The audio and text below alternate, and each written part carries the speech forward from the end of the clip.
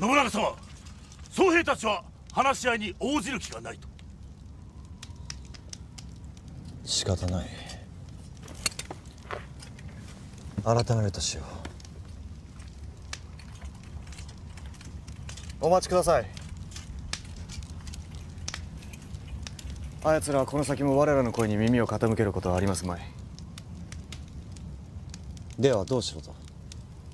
聞く耳を持たぬのなら攻め入ってしまいましょう。何を申す？延暦寺は仏法の聖地。攻めるなと信長様。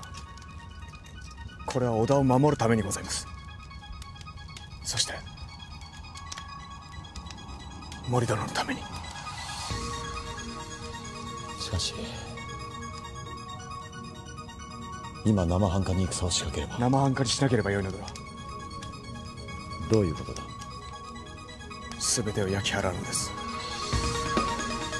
焼き払う？一人残らず焼き払ってしまえば敵も減り他の宗教勢力への牽制になります。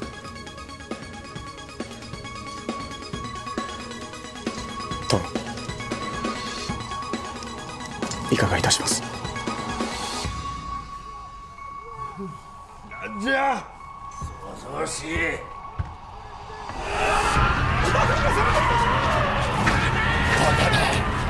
手なり火を晴すのは。